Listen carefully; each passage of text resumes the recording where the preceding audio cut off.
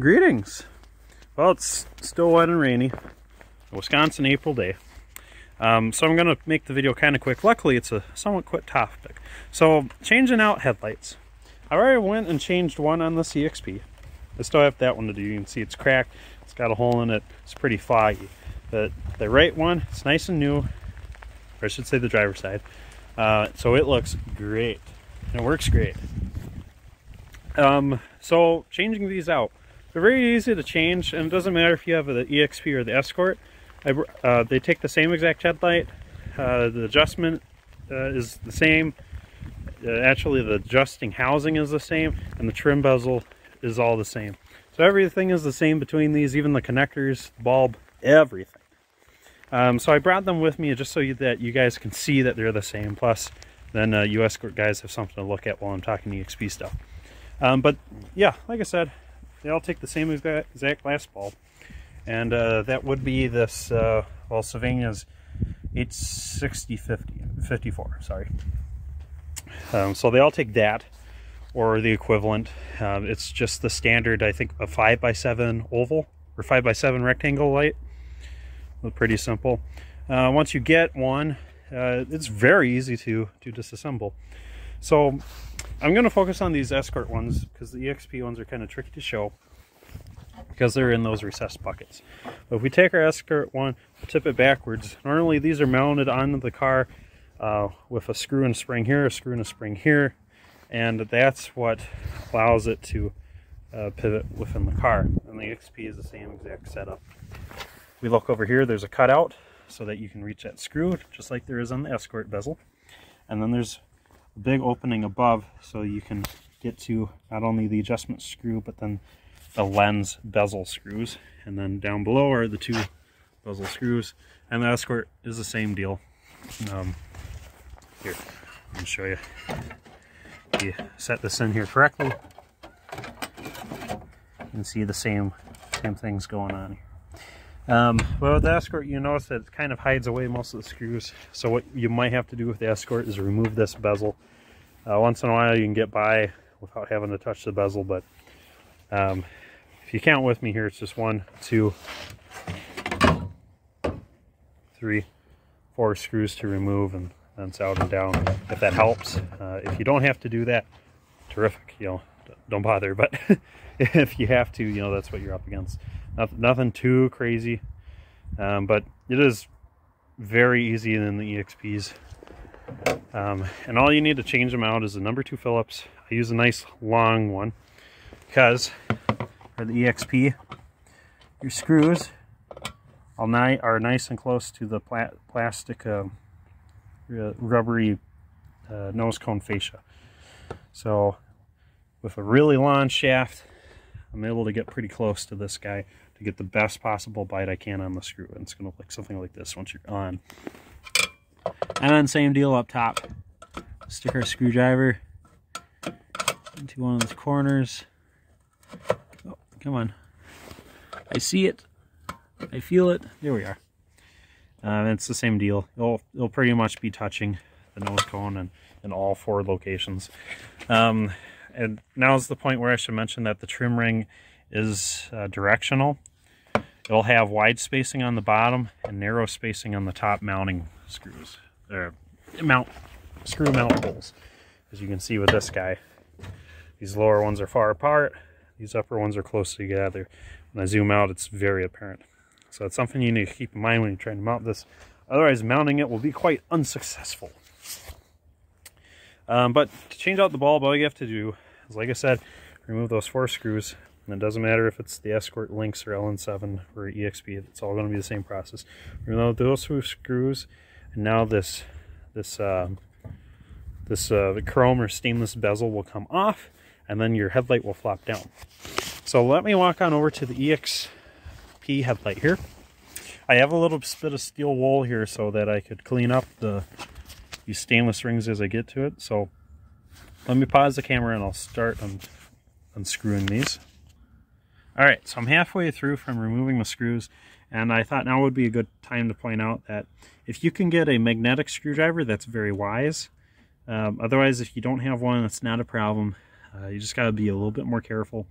What you'll want to do if, if you don't have a magnetic screwdriver is make sure you park the car either on the level or with the nose, nose pointing downhill. Because the last thing you want is these screws to land back behind the nose cone or with the escort behind the bezel and then fall down to the ground somewhere under the engine bay, especially if you're doing this in the grass. You should try really try to lay down like a um, a, pink rug or something, some cardboard that uh, these screws will stand out with, uh, and a nice hard surface so they don't like disappear in dirt, grass, soil, etc. Um, but up top here, there is enough room to come over here uh, from the center. So if you're doing the right screw, you'll come in from the left. If you're doing the left screw, you'll come in from the right. Uh, once you have it on thread all the way, hold the screwdriver there, reach in with your finger, extract it like such. And then when I release my finger, ah, it's actually sticking to the bit. But if I release my finger, it'll, it'll fall off like so. And then with these lower ones, you can't really get in there, so having at least some magnetic ability with your screwdriver does become uh, quite quite important, but not not imperative. So let me do the next two screws, and then we'll show you what happens once the bezel's removed. and there we are. Um, so all four screws have been extracted. Now this ring is ready to pop out. Um, actually, it keeps some tension on the on the light, so once you remove the screws, it wants to fly out at you. So with the screws gone, we simply remove. Now's the time to polish it if you want. And you will polish it with uh, some fine steel wool. So they call this triple aught uh, you can use quadru quadruple aught too, so that's just going to be what they call the 000 or the, the 40 is the quadruple aught. Uh, you just go around the ring, round and round and round. Once you're done, be nice and shiny like this one is, which matches the nice shiny light. Obviously, doesn't match the rough paint, uh, but that comes next. But most, because we're starting with this car, is just making it mechanically sound, fully legal, so this comes first. Then someday we will repaint and restore. Um, but anyhow, we'll set down our steel wool and now we'll grab our headlight bucket. The headlight bucket will, at this point, it might try to fall out. So the only thing holding it now, in now is the three-prong electrical connector on the backside. So if we pull this, a firm grip, and pull straight and true, it comes straight off the connector. Otherwise, if you want to avoid that, you can reach inside under the hood and then just pull it out by the hand by hand. On the left here, you can see it's right next to the uh, the horn. Over on the driver's side, uh, it'll be pretty open. It'll, it'll, be right by the battery. Um, but whether you have an Escort or an EXP, uh, there is plenty of space for you to reach down in there. And then there's actually a big oval cutout. I'll show you. There a big oval cutout for you to fit your hand in and unplug it. Unplug the headlights. So then once it's unplugged, you're ready to put the new one in. Uh, and the new one, uh, just same procedure but in reverse. And then once you have it mounted in, here's how you adjust it. So this is going to be side specific. On on the passenger side, there's going to be screw on, on the on the on the outside, uh, same with the driver's side. So all the screws, adjustment screws are going to be on the outside of the car, still outside of the car, and towards the top of the car. So on the top, on the top. And here's how this works, because the housing is um, is mounted, somewhat spring loaded. Uh, so what happens is the side that you tighten down is the direction the headlight will point. So if you tighten down this left side, the headlight will point that way. Loosen this up, headlight starts pointing that way. Same way up top. Start tightening that down, headlight points up, loosen it out, headlight points down. And then after that, it's really easy to adjust to your liking.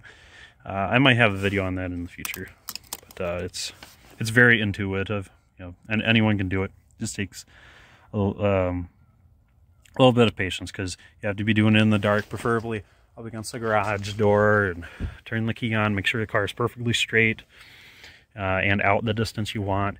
And then you can aim these in so that they're both the same height.